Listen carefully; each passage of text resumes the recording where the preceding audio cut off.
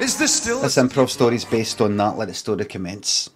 Craig was looking at his phone on the bus, and this is a journey that he didn't normally take. Normally, it went on the motorway, straight line. That was it. No much bumping about. But this was kind of up and down, left and right. And whenever he did, whenever he did that, he forgot. Whenever he looked at his phone when he was in a moving in a vehicle like that, he got car sickness. These days they call it motion sickness, even though it's really mostly car sickness. It's just you know people call it motion sickness. Back in my day they called it car sickness, but now they call it motion sickness because you know you can also get it in boats and things like that. I call that being seasick. But everybody's got these new ways of uh, we'll call it motion sickness instead of car sick because a bus isn't a car. It's not really a car.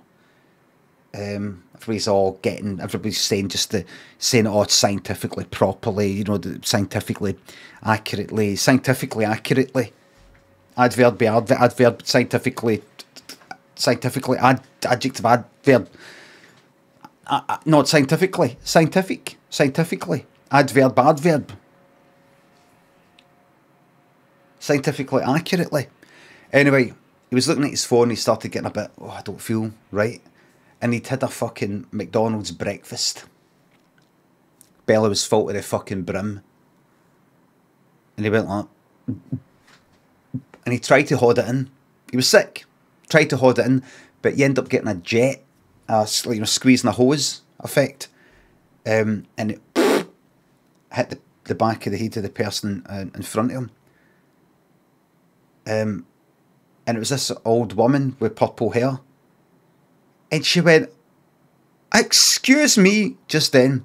Three wee guys came down, it was a double decker. Three wee guys came down for the top. Um, and he started punching fuck at every cunt. Just then, Craig was sick again on one of the faces. And and the sick dripped on the ground, and then the wee guy slipped. We're talking about like, you know, we bastards, we 14 year olds.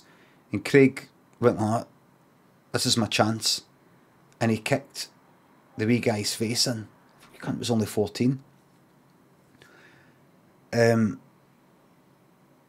the bus driver stuck the brakes on, and everybody who was standing up, three wee guys, Craig as well, went belting it right down the fucking aisle to the front. It was going like at 40 mile an hour, and fucking horn handbrake on. Handbrake, uh, you know, like fucking turn, horn handbrake turn type of thing. And everybody else smashed their teeth off the, the, the seat at the front of them. And then some cunt ran on with a bomb. Um, and went like, oh no, no, this isn't the place, and ran away. And when I say bomb, I don't mean an actual bomb. It was a bath bomb for lush you know, the the day you know you chuck it in the bath and it's all foamy and you know it smells nice or something. Um, they got on the wrong bus. Two of the two of the um, wee guys, no, the other one that was got his uh, face kicked in, run after them, run after him. I went, gonna give a smell of that, and they smelled it. and the person holding it dealt it.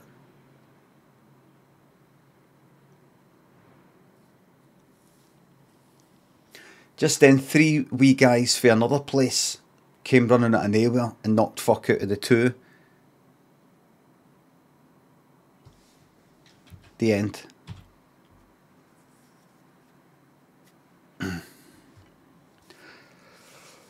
sort of a bit late last night. Um,